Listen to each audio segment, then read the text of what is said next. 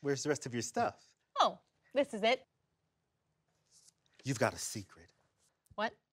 You moved to New York City today with a bag full of cash, no stuff, and what is clearly a wig.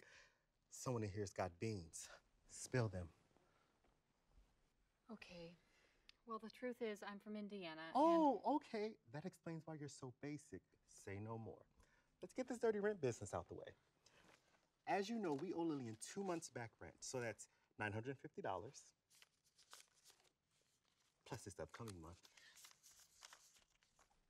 Let's not forget about security. And ever since you moved in, this lamp stopped working, so that's another $100. Nice try, Titus. There's no light bulb in there. You got me. Ah. so cosmopolitan. So, what do you want to do tonight? Honestly, listen to Diana Ross albums while I do my stretches to alleviate my gas. We should go out to celebrate. I mean, I got a job today. I got an apartment.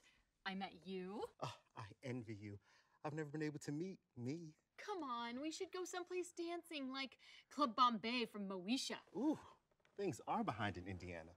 I'll pay for everything. I'm going out.